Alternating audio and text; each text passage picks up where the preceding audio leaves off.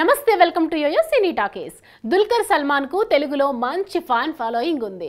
మలయాళంలో సినిమాలు చేస్తూనే ఇక్కడ తెలుగులో సినిమాలు కమిట్ అవుతున్నారు. దుల్కర్ ఉన్నాడంటే మినిమం గ్యారంటీ అనే పేరు తెచ్చుకున్నాడు. దానికి తోడు ఆయన కథల ఎంపిక కూడా డిఫరెంట్గా ఉంటుంది. డబ్బింగ్ మూవీ కనులు కనులు దోచాయంటే నుంచి వరుసగా ఆయన సినిమాలో తెలుగులో కూడా కమర్షియల్గా వర్కౌట్ అవుతున్నాయి. ప్రస్తుతం వెంకీ అట్లూరి దర్శకత్వంలో దుల్కర్ సల్మాన్ లక్కీ భాస్కర్ చేస్తున్నాడు. సితారా బ్యానర్స్లో రూపొందిన ఈ చిత్రం ఆగస్టున రిలీజ్ అవుతోంది.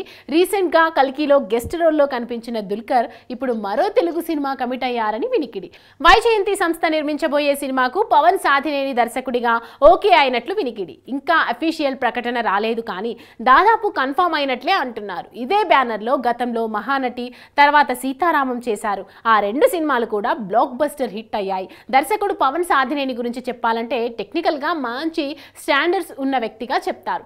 ప్రేమ ఇష్క్ కాథలతో పరిశ్రమలోకి దర్శకుడిగా అరంగేట్రం చేసి మొదటి సినిమాలో ప్రశంసలు అందుకోవటమే కాక అందరి కళ్ళల్లో పడ్డాడు పవన్. ఆ తర్వాత సావిత్రి చేశారు. కంటిన్యూస్గా గత కొంతకాలంగా వెబ్ సిరీస్లు చేస్తూ రాజేంద్ర ప్రసాద్తో చేసిన సేనాపతి ద్వారా అందరినీ ఒక్కసారి అలర్ట్ చేశారు. ఆ తర్వాత చేసిన దయా అనే వెబ్ సిరీస్ కూడా సెన్సేషన్ అయ్యింది. ఇక ఇప్పుడు సీనియర్ హీరో రాజశేఖర్ ప్రధాన పాత్రలో ఒక యాక్షన్ సినిమా చేస్తున్నట్లుగా తెలుస్తోంది. ఇందులో జేడి చక్రవర్తి కీలకమైన పాత్ర చేస్తున్నారని తెలిసింది. ఈ సినిమా షూటింగ్ కూడా పూర్తి కావచ్చు అని ఈ సినిమా బయటకు వస్తే తెలుగులో లోకేష్ కనకరాజ్ అనే స్థాయిలో ఫిల్మ్ వచ్చిందని ఇన్సైడ్ వర్గాల నుంచి తెలుస్తోంది. దుల్కర్తో సినిమా అనేది మొదలైతే పవన్ సాతినేని నెక్స్ట్ లెవెల్కు వెళ్ళినట్లే. పెద్ద బ్యానర్స్ పెద్ద హీరోలతో ఆయన సినిమాలు చేయగలుగుతారు.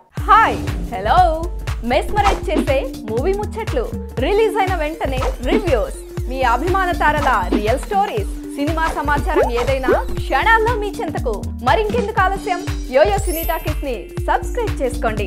హలో హలో నోటిఫికేషన్ కోసం గంట కొట్టడం అస్సలు మర్చిపోకండి.